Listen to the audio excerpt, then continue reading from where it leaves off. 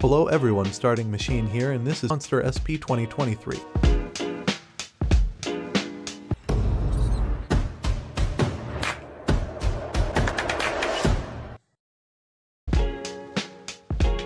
Ducati's world premiere series yielded a second new model for 2023 after the Streetfighter V4 Lamborghini, the Monster SP. After restarting the Monster series in 2021 by fitting a liquid-cooled V-twin into an aluminum twin spar frame, Ducati has upped the ante with a new version that sports higher spec gear.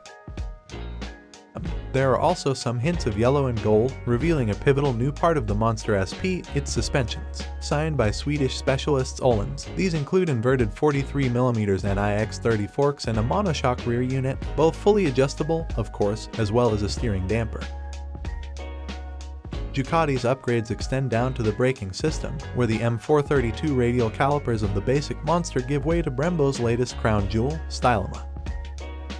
According to Ducati, the Monster SP's wet weight is 2 kg less than that of the standard model, tipping the scales at 186 kg in running order. These benefits result from lighter parts, such as the brake calipers and the exhaust, as well as a new lithium battery.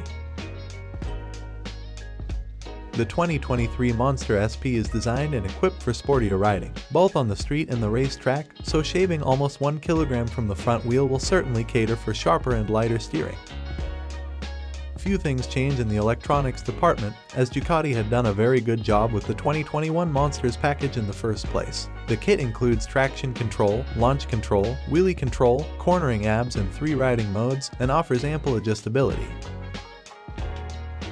Nevertheless, Ducati decided to introduce a new riding mode, Wet, in place of the urban mode of the Monster, which limits power output to 75 horsepower with very soft throttle response. The other two modes, Sport and Road, release the engine's full horsepower with differences in ABS, traction and wheelie control settings, as well as throttle sensitivity.